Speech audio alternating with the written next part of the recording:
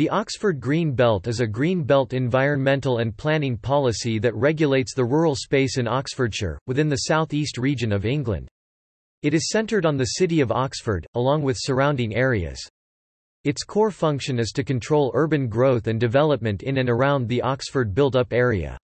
It is managed by the local planning authorities on basis of guidance from central government.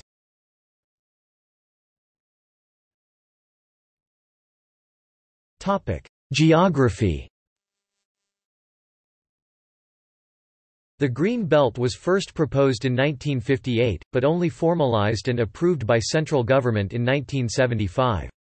Land area taken up by the belt is 66,868 hectares, 668.68 square kilometers, 258.18 square miles, 0.5% of the total land area of England 2010.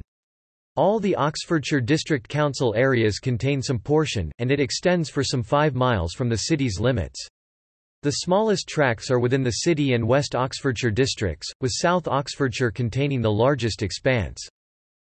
Key suburbs, villages and towns within the realms of the Green Belt include Dean Court, Kennington, Kidlington, Wheatley, and Yarnton.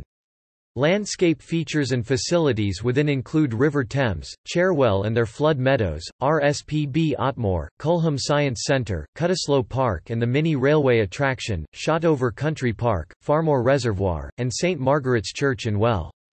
Due to the belt lying wholly within the county border, responsibility and coordination lies with the district councils as these are the local planning authorities.